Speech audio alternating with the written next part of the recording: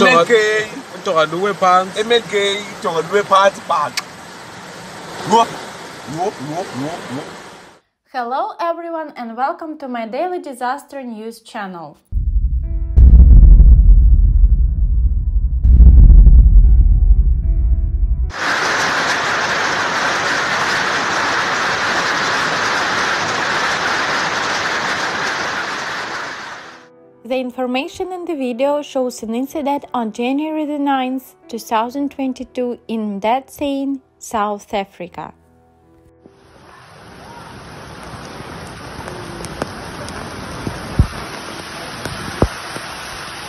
angaqalisi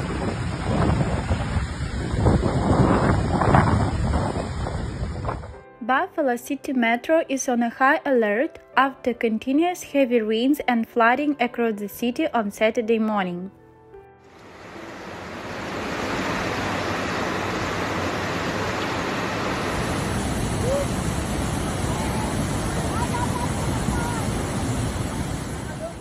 The Metro has activated its disaster management teams, including fire services, traffic services, and law enforcement. Yo, yo, yo, yo, yo, yo.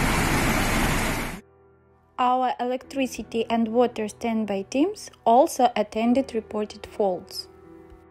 Don't forget to subscribe to the channel to keep abreast of the most important changes on the planet.